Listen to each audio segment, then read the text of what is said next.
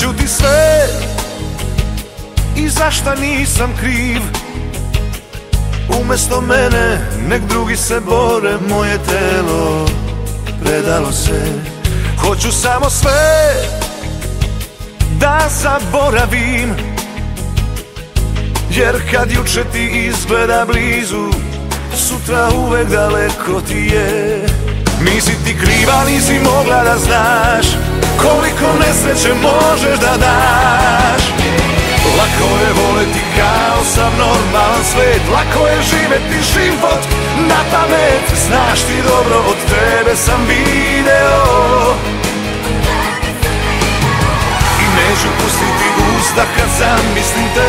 Oprosti vreme je došlo da krenem dalje Da se osjetim ponovo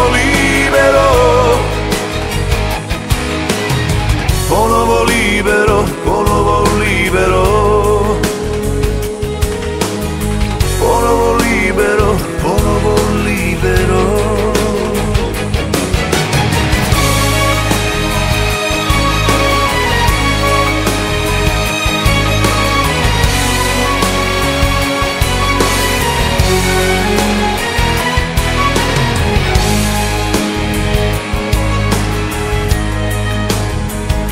Neću žaliti Stvarno ni za čim.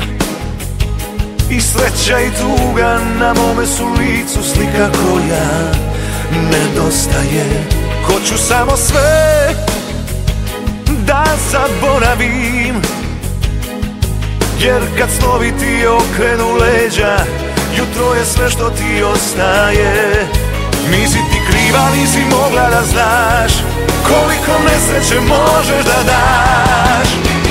Lako je voleti kao sam normalan svet Lako je živeti život na pamet. Znaš ti dobro, od tebe sam video. I neću pustiti uzdah kad zamislim te. Oprosti vreme je došlo da krenem dalje Da se osjetim ponovo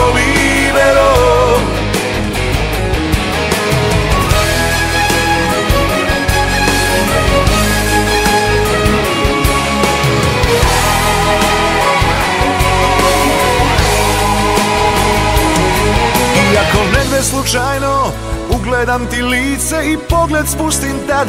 Jedino ti značeš sve da uništim Ti uvek ostaćeš.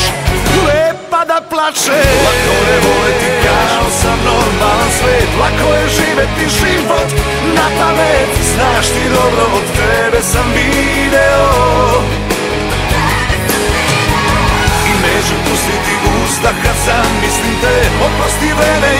došlo da krenem dalje Da se osjetim libero